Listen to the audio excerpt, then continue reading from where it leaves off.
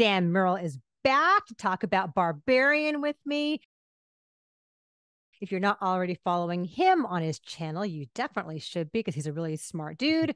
um, if you're not subscribed to us yet, we'd love to have you here for movie news and reviews and all the good stuff like Barbarian. Um, we're going to try and talk about this in the most spoiler free way possible. Part of the allure, I'm sure, for both of us is knowing nothing, having gone in cold, right? 100%. Yeah. This is 476 Barbary, right? Yeah, I'm renting this place. No, I booked it a month ago. Are you sure you have the right place? Yeah. What am I supposed to do? Why don't you come inside?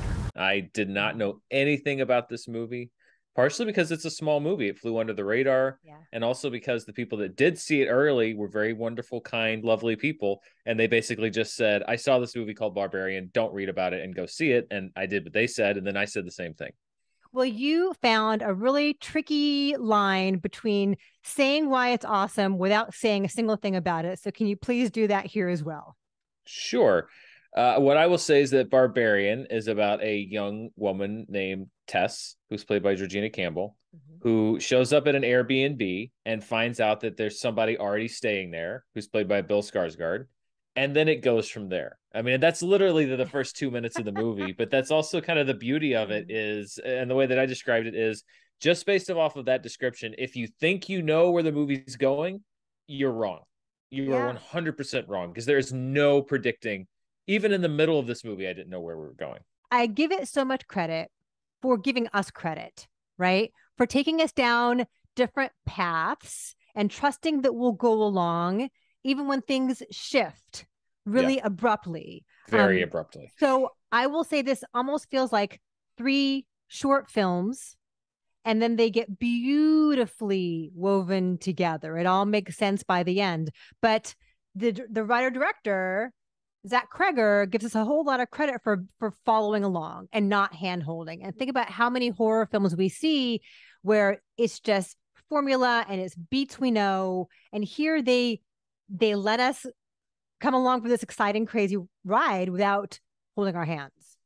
Right. And and I think that that's really um it's a risky movie. And I always say that I I love risky movies because some even if they don't always work, they're at least interesting.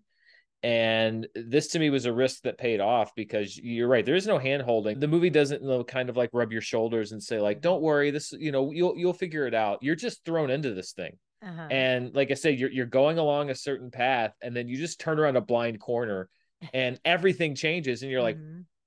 what and you have no idea how this ties in until later on in the movie and you know you just have to trust the movie to do what it does and it could have all fallen apart it could have just been a disaster you know like they're trying something narratively that's weird Right. and then they can't tie it all together but the Right. fact that they do i think is a is a huge credit to the film Yeah, it's in it's in the script and it's in the editing, right? Yeah. Because it could have been like, here's a thing, and here's a thing, and here's a thing, and good luck. But it's so masterfully done.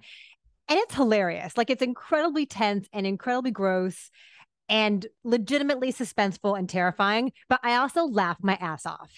oh yeah and and justin long who is in the movie i will Mhm. say that justin long Right. is in the movie We know this. I won't yeah. say how, when, or where he shows up. Nope. Uh, but he is a driver of a lot of that comedy, and uh, he also was. I mean, all the performances in this movie are great. Sure. But uh, I, I for for me, I thought with him, this was kind of a different. It, it sort of was in his wheelhouse, but it also sort of wasn't character wise. And um, I- I think he got to kind of flex and show some sides to to himself as an actor that we may not have seen before. Right. He kind of plays with the boyish likability that he has come to embody, and he finds a different shading to that, which is fun. And then the whole beginning with Georgina Campbell and Bill Skarsgård, like that is just this dance, this tense dance that you don't know where it's going to go. You think you do, and you don't. And then like the last moment, the absolute the the song that plays when the credits begin, I laughed my ass off. It is. It's it's like a it is like a roller coaster ride, and that's kind of the moment uh, I described it in my review. The moment where the roller coaster screeches to a stop, and you realize you made it to the end, and there's just this tension valve release of just like mm-hmm. it's over, and like you're glad, but also not glad. Like it's it's the perfect length. If it had jolted you around too much, mm-hmm. I think it would get a little tiresome. Mm-hmm. It's it's the perfect length and it pushes the bounds of like comedy, horror. Sometimes it goes way too far, but then it's able to pull back. It's mm-hmm. it it it really could have gone wrong in a lot of different ways and it and it doesn't. You know, I was kind of surprised when the cinema score came out. Oh. That it got a C plus. Oh. But I also oh. think it's because it is so unexpected in right. so many ways that a lot of people are like, wait a minute, what is this? Because that's what cinema score is. It's about expectation. Oh. And there's literally no way to set an audience expectation for this movie. Oh, it is very challenging, but that's what we love about it. And I think that's what horror fans will love about it because yeah. it is so unexpected. Um, that's really, really funny. That's, that's too bad. I mean, it's, it didn't break my heart. Like, you know, when hereditary came out and got like a D. So, you know, it's, it's, uh, for a horror movie, actually the C plus isn't so bad but on the sliding it. scale of cinema score. Some of the most interesting films ever made got F's, right? Like Mother. Oh, yeah like it's I'd rather go see movie, an yeah. F cinema score movie anytime versus like the same old stuff. well, because there's if a movie gets an F cinema score, there's something interesting about mm-hmm. it. It may be mm-hmm. horrible, but it's at least interesting. Um, and you know, I, I think what we need, and I've said it before, is we need more studios that'll take risks on movies like this mm-hmm. because I think it's one that pays off creatively. And then, you know, I'm curious to see how it holds up box office wise because I think word of mouth, cinema score notwithstanding, yeah. is going to be pretty strong on this. I, I certainly had a lot of people on social media say, "Oh, hey, I saw your tweets about this movie and I dropped everything and went to see it because that's what people are saying." So and we'll see fun. if that continues to play out. And that's fun this time of year when it's like fall movie season and everything isn't serious and it matters and all that. One of our commenters said um, he went and saw it and he doesn't understand why it's called Barbarian. And without giving anything away, I think it's really clear thematically what they're going yes. for with that. Thematically, and then there's a little detail in the movie as well that's easy to miss that kind of plays with it as well. Um, but yes, I, th- I, think that there's a canonical uh, explanation and also thematically an explanation. Okay, we're gonna leave it there then. You guys can yeah. figure it out. If you saw it, let us know what you think. We'd love to hear your thoughts as well. So please make sure that you comment and chime in. Dan, what's your number? My phone number? Oh, uh, no, sorry.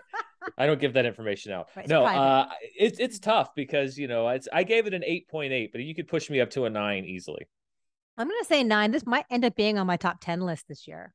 It's really good. And in this a year of great and, horror movies, this one stands out. And Pearl comes out this week, and Pearl is rad. I'm so excited to see Pearl because I liked X a lot. Yes. This is if Douglas Sirk made a slasher film, it'd be Pearl. Anyway, you're awesome, Dan. Thanks for coming. See you soon, I hope.